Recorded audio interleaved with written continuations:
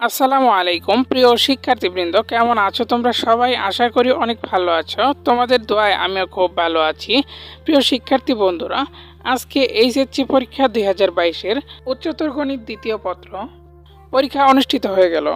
কার কেমন পরীক্ষা হয়েছে অবশ্যই তোমরা কমেন্ট করে কমেন্ট বক্সে জানিয়ে দিবে। এই মুহূর্তে যে বহুনির্বাচনী অংশের প্রশ্নটি দেখতে পাচ্ছ, অল্প কিছুক্ষণের মধ্যেই আমরা এর সমাধান দেওয়ার চেষ্টা করব।